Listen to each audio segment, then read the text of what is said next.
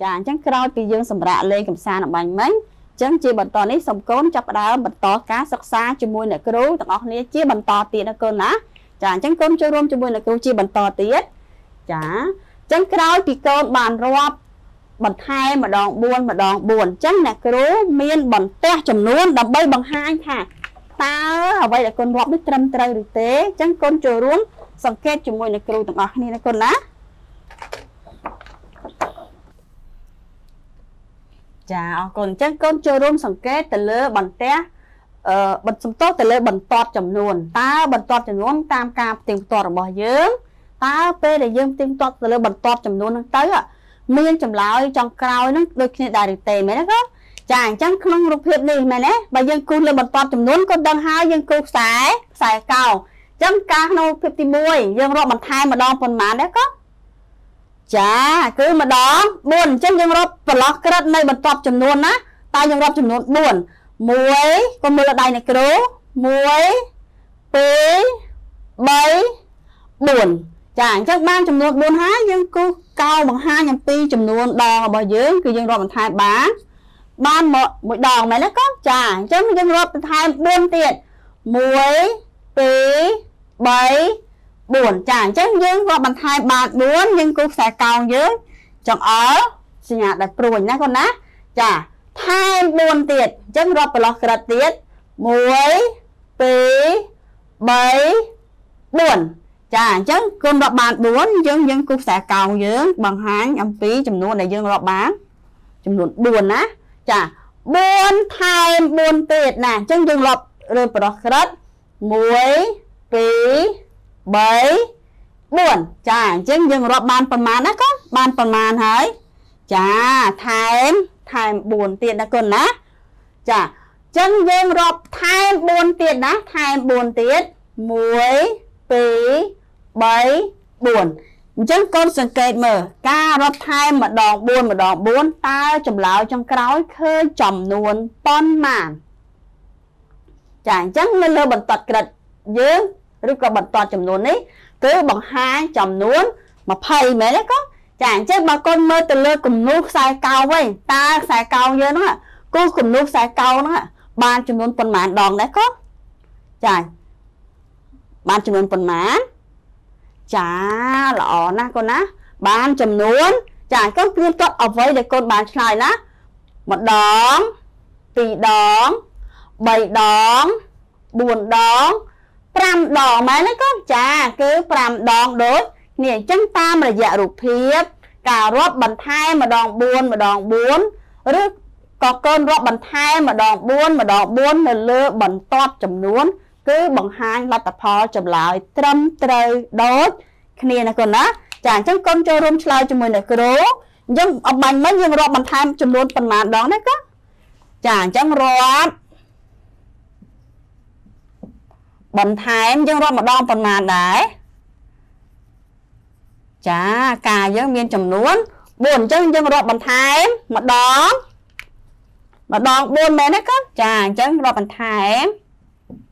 ម្ដង4អញ្ចឹងយើងសរសេរចំនួន4ចំនួនប៉ុន្មានដងចាគឺចំនួន ប៉ុន្មានដងដែលកូនរត់ជាមួយអ្នកគ្រូអំបញ្ញមិញហ៎ចាអរគុណគឺចំនួន5 5ដងណាកូនណាចាអញ្ចឹងយើងរាប់បន្ថែមម្ដង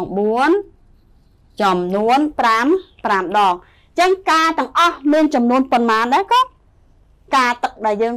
រាប់អំបញ្ញមិញដែលការកូនរាប់បន្ថែមម្ដង4ចំនួន5ដងអញ្ចឹងការទាំងអស់មានចំនួនចំនួនប៉ុន្មាន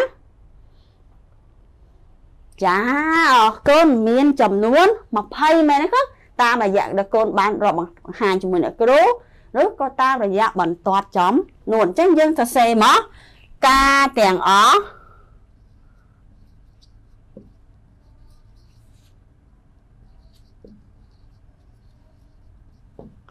មានចំនួនចំនួនប៉ុន្មានក៏ ចាគឺចំនួន20អញ្ចឹងយើងសរសេរចំនួន20ណាកូនណា ចាអរគុណច្រើនណាមានមានចំនួន ចំនួន20អញ្ចឹងកូនបានចូលរួមស្ដាប់នឹងការបញ្យល់ណែនាំរបស់អ្នកគ្រូនៅលើនៅលើក្តារខៀនរួចហើយមែនទេកូនចាអញ្ចឹងដូច្នេះសូមកូនយកសភៅឡើងកត់ខ្លឹមសារមេរៀននេះបន្តិចចូលនៅក្នុងសៀវសៀវភៅនៅកូនណាអញ្ចឹងកូនយកសភៅឡើងកត់ចំណងជើង រូបភាពហើយនឹងសរសេរដោយអ្វីដែលអ្នកគ្រូបានបង្ហាញអ្នកគ្រូជឿថាកូនកូនអ្នកគ្រូប្រកាសជាអាចសរសេរចំណងជើងខ្លឹមសារមេរៀននេះចូលនៅក្នុងសៀវភៅបានយ៉ាងស្អាតត្រឹមត្រូវហើយរហ័សទៀតមែនទេកូនចាអញ្ចឹងអ្នកគ្រូទុកពេលឲ្យកូនអ្នកគ្រូបន្តិចដើម្បីឲ្យកូនបានកត់មេរៀនណាអញ្ចឹងកូនចាប់ផ្ដើមយកសៀវភៅឡើង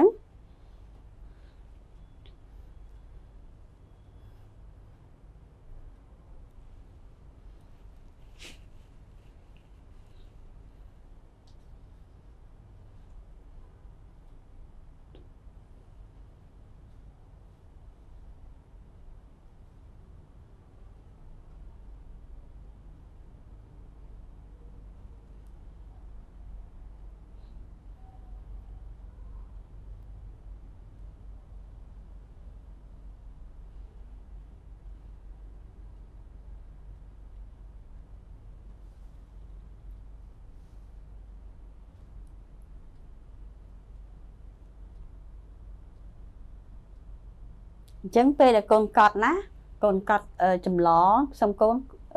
កត់ទៅតាមលំដាប់លំដោយណាកូនណា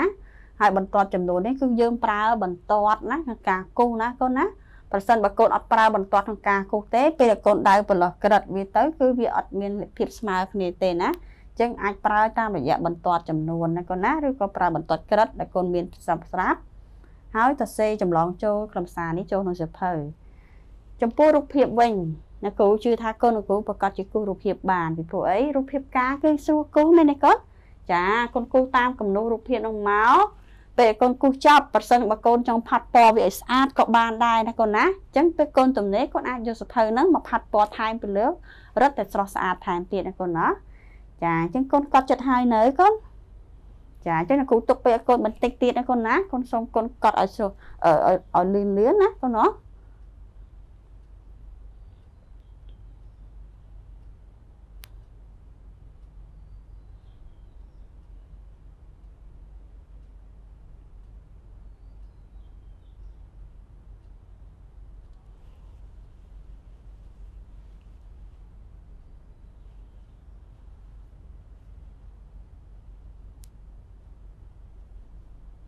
ចាអរគុណច្រើនណាកូនណាកូនបានចម្លងខ្លឹមសារមេរៀនចូលក្នុងសភៅរួចហើយមែនទេកូនចាអញ្ចឹងពេលនេះសូមកូនទាំងអស់គ្នាយកក្តារឈ្នួន Word ឬក៏ដីសឡើងដើម្បីចូលរួមធ្វើកិច្ចការជាបន្ទាប់ជាមួយនឹងគ្រូនៅលើក្តារដាឃ្រៀនអញ្ចឹងកូនត្រៀមហើយណាកូនចាអរគុណណាអញ្ចឹងមុននឹងចាប់ផ្ដើមអឺអ្នកគ្រូមានសំណួរមួយសួរទៅកាន់កូន ហើយតើកូនកូនគ្រូជាកូនដែលពូកែឆ្លាតកម្រិតណាកូនអាចឆ្លើយនឹងអ្វីដែលអ្នកគ្រូបានចោទសួរមែនឬទេមែនទេកូនចាអញ្ចឹងអ្នកគ្រូសួរនេះគឺតាក់ទងទៅនឹងអឺរុក្ខជាតិដែលជាផ្លែឈើណាកូនណាអញ្ចឹងកូនស្គាល់ផ្លែឈើហើយគឺយើងយកមកសម្រាប់ញ៉ាំមែនទេកូនចាអញ្ចឹងផ្លែឈើហ្នឹងគឺវាមានរាងមូលស្តៀងនឹងបាល់អញ្ចឹងកូនហើយផ្លែហ្នឹងពេលខ្លះក៏វារាងត្រវែងដែរណាកូនណាមូលត្រវែងដែរ អញ្ចឹងផ្លែហ្នឹងគឺមានរាងមូលដូចបាល់ធំពេលដែលយើងយកកំបត់វាមកពុះទៅសាច់វាមានពណ៌ក្រហមឆ្អិនឆ្អៅហើយមានក្របតូចតូចតូចច្រើនណាបើនិយាយពីរសជាតិវិញគឺវារសជាតិផ្អែមឆ្ងាញ់ណាកូនណាចាអញ្ចឹងកូនសាក់ទូទាញមើលតើផ្លែឈើវិញដែលមានរាងមូលធំដូចបាល់ពេលខ្លះរាងមូលត្រវែងសាច់វាខាងក្នុងពណ៌ក្រហមហើយមានក្របតូចតូចច្រើនមែនទេកូនតើវាជាផ្លែអ្វីដែរ ចឹងកូនចូលរួមទូទាទាំងអស់គ្នា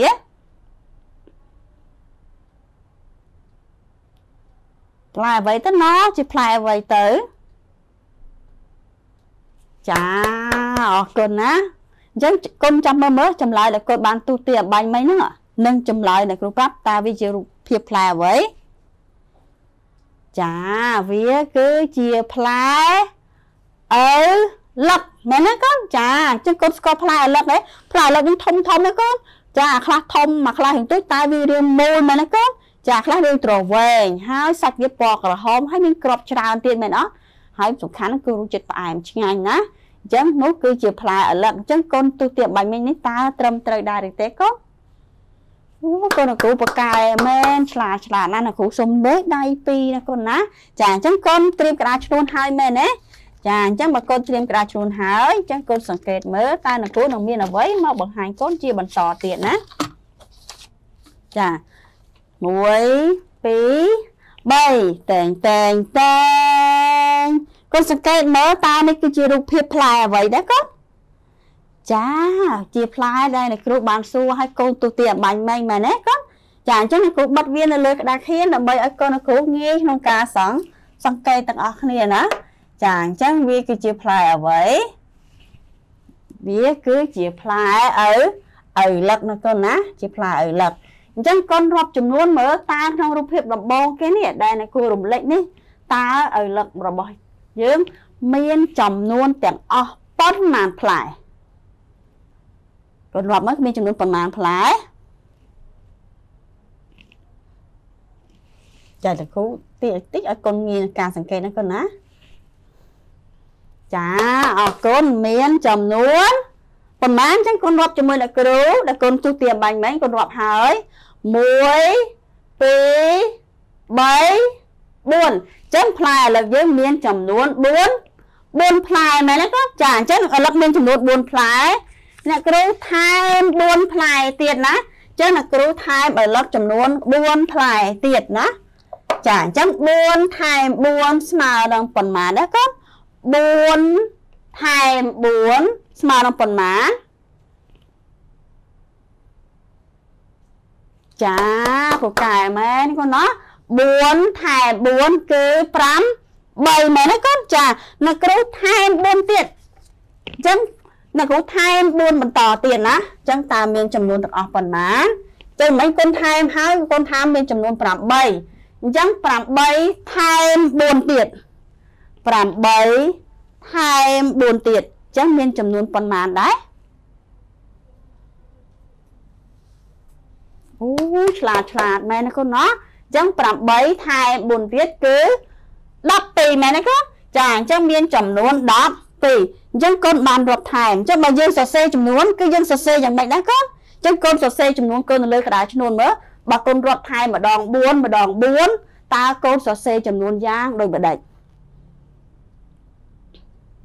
ចាអញ្ចឹងកូនសរសេរចម្លើយកូននៅលើក្តារក្តារឈ្នួនណាកូនណា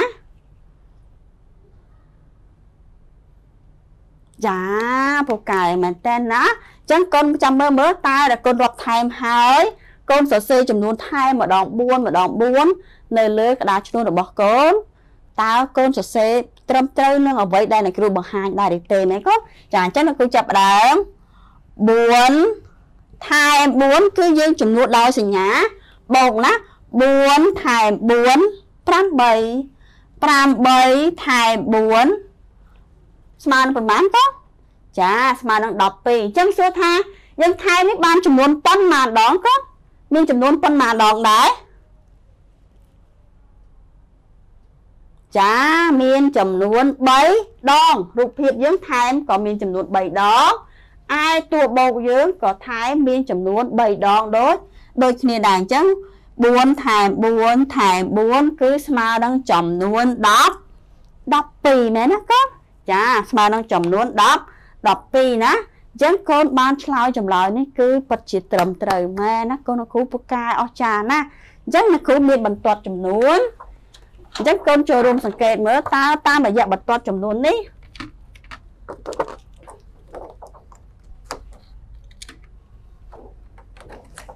បង្ហាញអំពីចម្លើយត្រឹមត្រូវដូចគ្នាដែរទេណាកូនណាចាអញ្ចឹងកូនសង្កេតទៅលើបន្ទាត់ចំចំនួនទាំងអស់គ្នា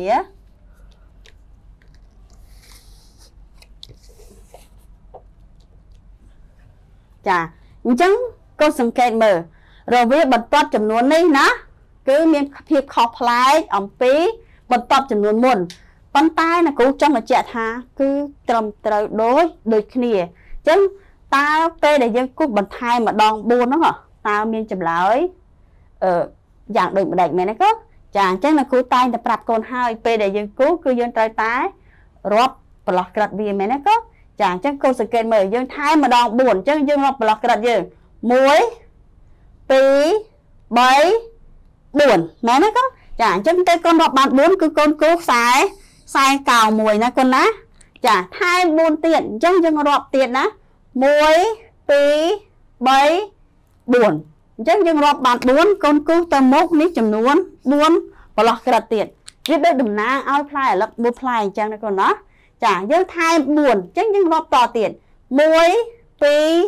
4អញ្ចឹងចុងក្រោយគេចង់ឲ្យតាមចំនួន12ចឹងកូនគូបន្តទៀតណាត្រឹមចំនួន10 12ណា អញ្ចឹងកូនសង្កេតមើលតើកូនថែមបានចំនួន3ដងដែរទេកូនចំនួនប្រមាណនេះកូនចាគឺចំនួន3ដងដូចគ្នាដូចតែកូនឆ្លើយមុននឹងអញ្ចឹងមែនទេកូនដោយឡែកចំនួនផ្សេងទៀតយើងអត់អត់អត់មានលក្ខថែមផងហ្នឹងកូនអញ្ចឹងចាំបាច់ត្រូវគូសតទៀតអត់ចាអញ្ចឹងបន្ទាត់ចំនួនណាកូនអាចដៅចំនួនប៉ុន្មានក៏បានដែរប៉ុន្តែភាពជាក់ស្ដែងគឺកូនរាប់ចំនួនថែមឲ្យបានត្រឹមត្រូវ តាមចំនួនដកឲ្យបានច្បាស់លាស់ណាកូនណា ចាអរគុណណាអញ្ចឹងក្នុងកន្លែងនេះអ្នកគ្រូចង់បញ្យល់កូនបន្តិចណាចាអញ្ចឹងអ្នកគ្រូចង់បញ្យល់កូនបន្តិចអញ្ចឹងប្រសិនបើអ្នកគ្រូសរសេរអញ្ចេះវិញណាអ្នកគ្រូសរសេរ4ចំនួន2ដងអ្នកគ្រូសរសេរអញ្ចេះវិញអញ្ចឹងបើអ្នកគ្រូមាន4ចំនួន2ដងអញ្ចឹងបើអ្នកគ្រូសរសេរជាអក្សរអញ្ចឹងវិញតើយើងអាចសរសេរជាការរាប់ថែមដោយប្រើប្រមាណវិធីបូកចំនួនប៉ុន្មានដែរអញ្ចឹងកូនអាចសរសេរចម្លើយកូនជាបន្តទៀតនៅលើក្តារឈ្នួលណាកូនណា4ចំនួន2ដងអញ្ចឹងមានន័យថាយើងរាប់បន្ថែមម្ដង4ចំនួន2ដងអញ្ចឹងតើកូនថែមចំនួន2ដងណាយើងបូកបន្តគ្នាហ្នឹងចំនួន4ហ្នឹងប៉ុន្មានដងទៀតបើយើងនិយាយសួរស្ដាប់អញ្ចឹងកូនណា ចាអញ្ចឹងកូនរាប់ឲ្យឃើញចំនួនប៉ុន្មានកូនសរសេរនៅលើក្តារឈ្នួលហ្នឹងកូនណាតើហើយនៅកូនហើយនៅចាពូកែមែនអញ្ចឹងកូនចាំមើលមើលចម្លើយដែលកូនសរសេរហ្នឹងដូចអ្នកគ្រូអត់អញ្ចឹង4ចំនួន2ដងអញ្ចឹងយើងសរសេរចំនួន4បានម្ដងមែនទេកូនចាចំនួន2ដងអញ្ចឹងយើងថែមយើងចំនួនដោយសញ្ញាបូកណាថែម4ទៀតអញ្ចឹងគឺយើងបាន4បូក4 ឬក៏4ថែម4មួយដង2 2ដងអញ្ចឹង4ចំនួន2ដង យើងចំនួនដោយ ការសរសេរប្រមាណវិធីបូកយ៉ាងដូចនេះកូនណា ចាកូនតើអត់ចាអញ្ចឹងកូនមើលចម្លើយកូននៅលើក្តារជ្រុលមើលតើដូចអ្វីដែលអ្នកគ្រូបង្ហាញដែរទេកូនដូចគ្នាអត់គឺកូនគ្រូបកកែមែនហើយឆ្លាតឆ្លាតទៀតណាកូនណាចាអញ្ចឹងលោកគ្រូសុំលុបហើយយើងលោកគ្រូសុំបកយកវាចេញសិនណាកូនណាចាអញ្ចឹងកូនទុកក្តារឈ្នួន Word ឬក៏ដីសកូនចោះណា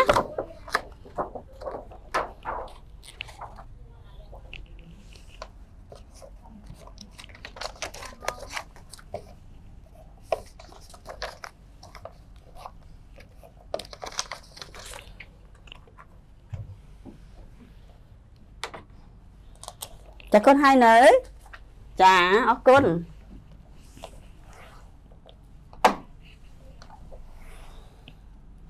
ចាអញ្ចឹងដូច្នេះសូមកូនយកសភៅឡើងយកសភៅកិច្ចការផ្ទះដើម្បីកត់កិច្ចការផ្ទះចូលនៅក្នុងសៀវភៅទាំងអស់ទាំងអស់គ្នាណាកូនណា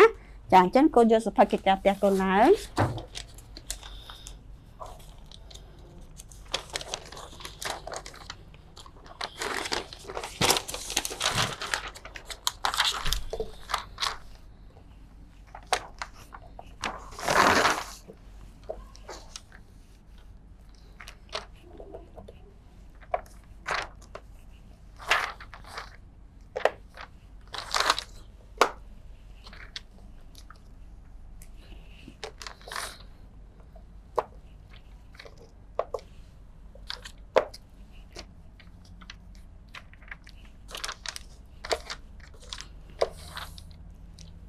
ចាអញ្ចឹងនេះគឺជាកិច្ចការផ្ទះអញ្ចឹងកូនកុំចម្លងកិច្ចការទាំងអស់នេះចូលក្នុងសៀវភៅអញ្ចឹងកូនដឹងហើយកិច្ចការនេះគឺមានលំនាំដោយកិច្ចការការពីថ្ងៃមុនមុនអញ្ចឹងមែនទេកូន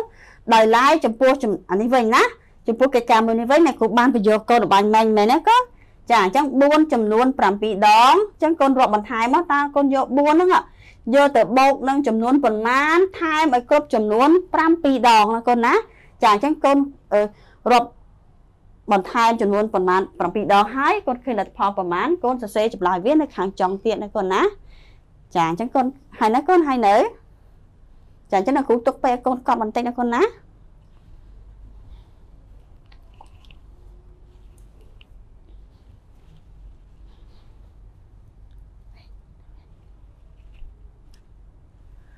ចាអញ្ចឹងកូនបានកត់កិច្ចការផ្ទះនេះរួចរាល់ហើយណាអញ្ចឹងក្នុងថ្ងៃនេះផងដែរអ្នកគ្រូសូមអរគុណសម្រាប់ការចូលរួមសិក្សាជាមួយអ្នកគ្រូ